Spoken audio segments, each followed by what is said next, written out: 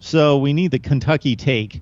Uh, a lot of challenges there in the SEC, and we saw what Kirby Smart was able to do over the last few weeks in closing a dynamic class. Butch Jones has had his success, maybe fallen off a little bit, but ton, maybe the East is coming back at this point. Uh, maybe that's not good news for Wildcat fans because it appears as though you're gaining some steam as well. So, according to 24 7 Sports, this is definitely a top 30 class. Uh, four four star recruits out of uh, 24 total signees.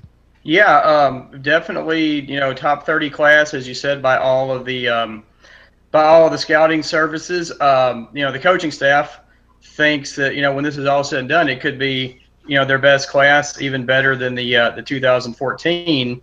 You know, which featured Drew Barker, Matt Elam, and a host of others. Um, the, to say that they're excited about this class would be a, a vast understatement. So, Kevin, who do you like? Uh, we see a lot of names here. Again, it's 24 signees. Can you pick out a few that, based on what you've seen, what you've heard, that you're looking forward to seeing on the field?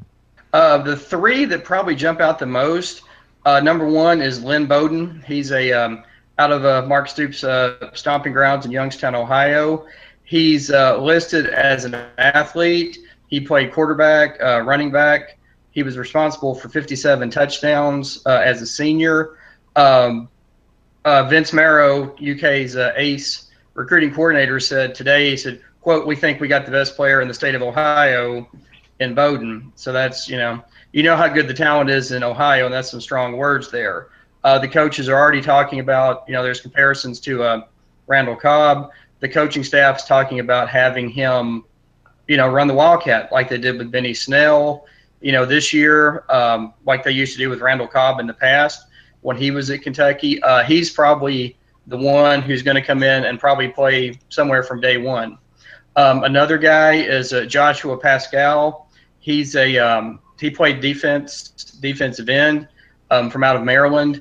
He uh, committed to Kentucky, and then Penn State made a late made a late run at him, but he um, he reaffirmed you know his commitment and signed today um, coaching staff. Like I said, he played defensive end in college, or excuse me, in high school. But the um, the coaching staff sees him as a linebacker, um, sort of along the lines of a Bud Dupree, you know, who is doing great things with the Pittsburgh Pittsburgh Steelers.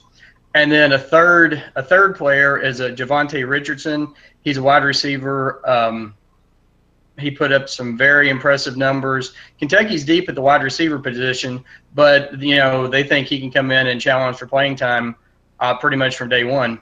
All right, Kentucky with a difficult uh, situation in regards to being on the periphery of the SEC footprint, and, and, certainly when we look at ESPN's top 300 recruits, we see where Kentucky, I believe, had one out of the 300, where the SEC is accounting for about 58 or 59 percent of ESPN's mm-hmm. 300. So Kentucky with the challenges there, but meeting those challenges with a top 30 class. Now, where that ranks in the SEC, well, you can do the math. It's it's certainly a difficult challenge to to break that top eight to 10 uh, in the conference. But uh, Kentucky coming off seven wins and a bowl appearance for the first time in a few years. Uh, off to a good start here to get toward uh, breaking more goals and getting uh, achieving more goals here in 2017.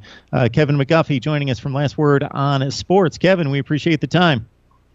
All right, thank you very much, Mark. I appreciate it. Have a good evening.